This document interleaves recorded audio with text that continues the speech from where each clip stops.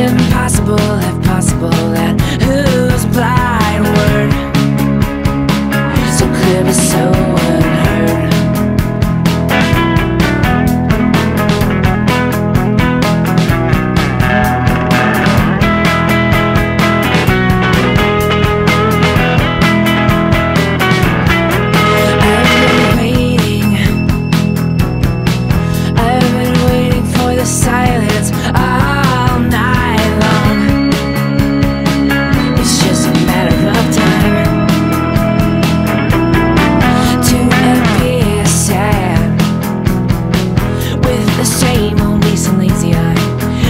to rest on you.